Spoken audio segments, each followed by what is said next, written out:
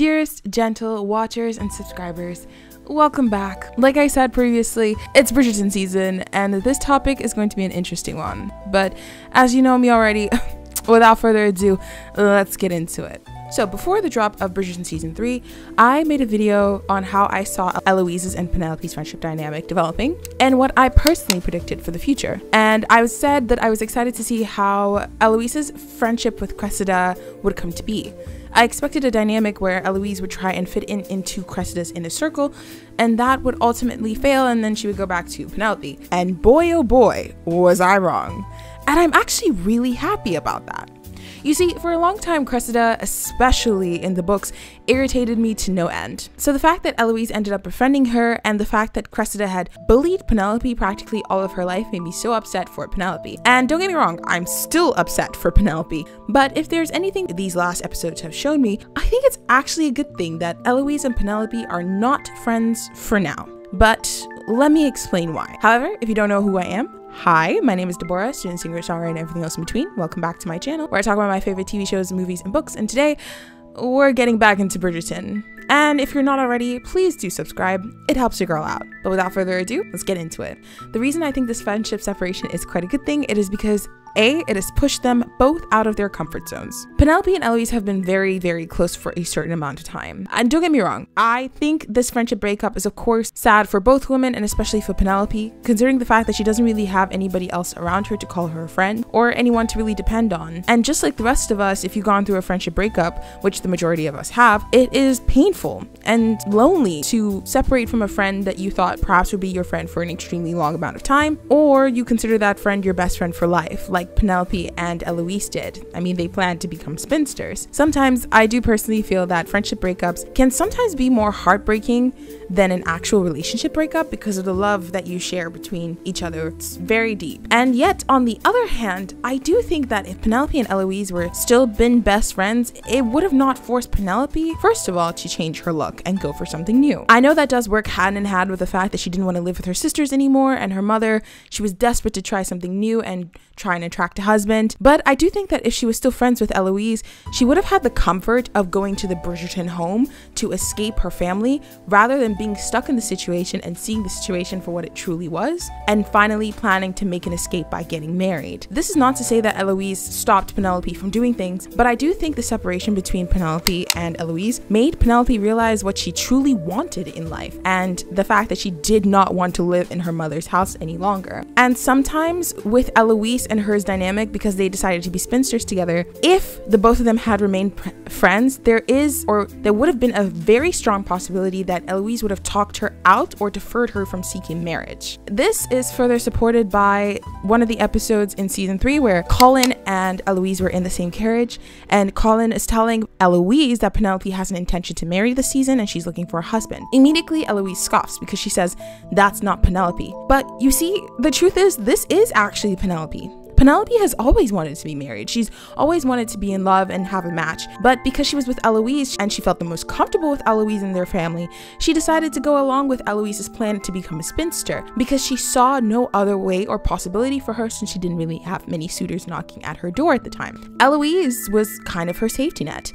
In the world where she wasn't emotionally supported by her mother or by her sisters, by removing that safety net, she has no choice but to go find something of her own, which in this situation would eventually lead to her finding a partner that hopefully will not only monetarily support her, but also emotionally support her and give her the love that she's deserved and that she's been deprived of since. But if both of them were still friends, there is a very big possibility that that might not have happened as effectively. Now, I know you might be thinking that in the books, this certainly does happen because Eloise and Penelope were still friends at the time during the books.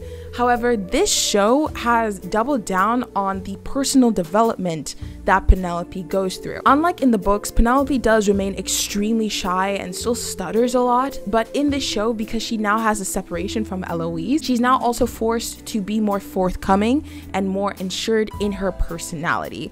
something that wouldn't have happened without Colin's lessons and giving her guidance. If they had followed the original book timeline, there might not have been enough time for that because Eloise would have demanded Penelope's time, and therefore she wouldn't have as much time to spend with Colin, not only in them building their relationship, but also them using that opportunity to build her boldness, her character, and to practice speaking to other people and mingling with other people and going through it. On the flip side, I also think this is great for Eloise. See, Eloise for a long time has sort of held her nose high to the ladies of society, deeming them as extremely simple and not giving any care to their interests just because their interests are not the same as her own. I understand that she's a feminist and I do appreciate that and I, I do love that for this era, of course, but sometimes she tends to oversimplify other women within the ton. Rather than seeing them as women who have no choice and are just trying to survive in this world that they've been given, she sees them as one dimensional characters, which is arguably what men do themselves in the ton as well. So, by forcing herself to get out of her safety net as well with Penelope, she could get to know people that she normally wouldn't have met if she was in that same friendship and she was in that same comfort zone with Penelope. I actually think that this separation has forced her to mature a little bit. Now, I'm not saying that her maturity has come about because she's just wearing more dresses and conforming more and being more ladylike. I am saying that her maturity is coming through her ability to understand some of her mistakes and also get along with other people without judging them, and also being able to, to develop her own personality. See, if she would have still been friends with Penelope, they would have stood off in the corner and watched other people and not have mingled with other groups, and she wouldn't have realized that her personality is actually quite entertaining to people, which arguably could be something that could be great for her development in the future. Also, with her friendship with Cressida, I'm not a fan of Cressida myself, but I will say that one thing has become really apparent that I like how this show did. This show also exposed Eloise's habit of jumping into conclusions, which is what she also did with Penelope, and that was what deepened their fight in the first place. When Eloise believes that Cressida was the one who spilled Penelope's secret, she doesn't even give Cressida a moment to breathe, and she immediately goes into conclusions and concludes for herself that, well, Cressida did it, which is one of Eloise's biggest flaws in her arguments. She jumps to conclusions a lot of the times and sort of makes up her own mind for other people without giving them the chance to fully explain or seeing things from their point of view. By having this argument with Cressida and being forced to tackle also her own shortcomings, with how she argues with people, this friendship has held up a mirror to her face to expose her behavior, just like how she has held up a mirror towards Cressida to expose Cressida's behavior as well. I do like this because as a result, she gets a taste of her own medicine. Reason number two. Now Penelope can understand how it feels to be on the other side of Lady Whistledown. Now, this is not Penelope slander. I love Penelope, and I see a lot of myself in her and a lot of her characteristics, even though I am not as shy. I completely understand her being an outcast in society and not being able to make friends as easily, and coming from a family that's very emotionally neglectful and scapegoats her. I completely understand. However, this does not negate the fact that her column, Lady Whistledown, has destroyed other people's lives. And as much as I want to gaslight girl boss gatekeep for Penelope, the truth is I am glad that she was able to be on the other side of the coin to feel how Eloise felt when it came to her own reputation being publicly decimated in society. Now, first of all, it's important to note that Penelope's reputation has never been great in society, and this is also kind of partly her fault with how she would also shame herself in the columns, but I guess you could argue as well that that was necessary, otherwise it would look suspicious. So I kind of lead that point B. However, However, Eloise was her close friend and also came from an equally high noble family, and exposing her friend's personal life details like that in a moment where her friend was truly happy, exploring a lovely relationship, which she never really had, and to see her best friend throw that in a column is truly heartbreaking. Just like how Penelope felt when her secret with Colin was exposed. Now she truly understands what it feels like to be on both sides of the equation.